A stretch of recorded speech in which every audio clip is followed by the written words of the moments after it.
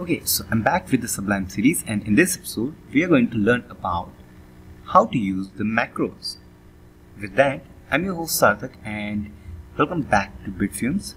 This is a channel where I talk about Laravel and Laravel related things. So if you are new to this channel, don't forget to subscribe. Okay, so let's start this video. In the last episode, we have learned about the snippets. If you have not visited that video, I prefer to visit that but it doesn't matter if you know about snippets or not. So in the last episode we have created like this. If we type pub and hit tab we will complete the function. So there is another way of creating this. And what if if you can record whatever you are doing and you can repeat that thing?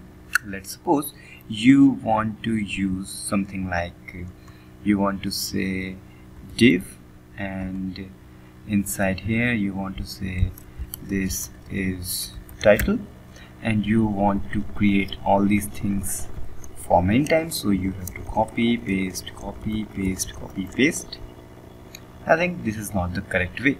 What you can do if you often use the same thing again and again either you can create a snippet or the macro. So how will create a macro? So for that you have to just start the macro. So go to tools click record macro. That means you can always use control plus q to start or record macro. So I will just start the recording of macro. So whatever I do here this is going to record as macro okay and now I have to stop the macro recording. So I will again press ctrl Q and it's now started. But where is our macro again go to tools and playback macro or use command control shift Q.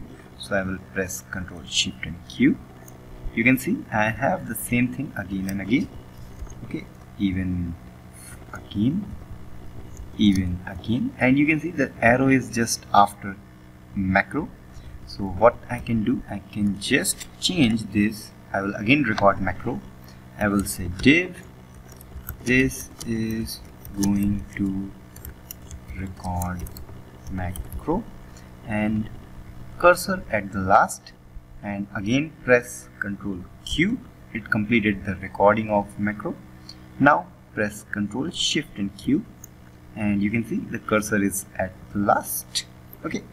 So I think this is an awesome thing. If you want to have a code again and again it you just don't need to copy and paste every time.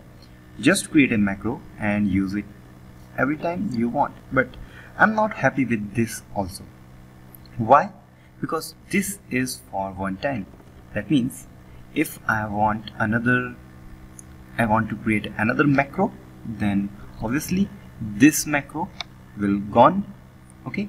So what we can do we can save this macro. We can just save macro okay? So here you can type uh, test okay and save this. It's saved now. So now instead of pressing ctrl shift and q I can just go to macro user and press test. Obviously this is also not cool. Why? Because I have to go here here and user and test. These are the lots of steps. But what I want? I want a keyboard shortcut. So in the next episode we will learn about the key binding. That means I will press some key combinations to catch our macro so let's suppose I want to say control alt T. It's doing nothing but I want to show this macro. I want to trigger this macro test macro. So this thing we will do in the next episode. So if you have any doubt please feel free to comment me. And don't forget to subscribe. We will meet in the next episode. Till then like bitfumes on facebook. Bye bye